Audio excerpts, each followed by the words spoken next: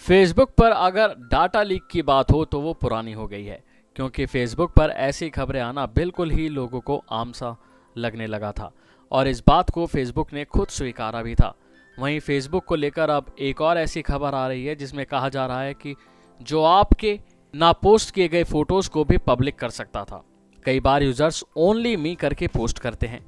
इसके अलावा ये बग यूज़र्स के फेसबुक ऐप के timeline photos Facebook stories marketplace photos और वैसे फ़ोटोज़ जिसे यूज़र्स ने सिर्फ़ फेसबुक पर अपलोड किया है, लेकिन शेयर नहीं किया।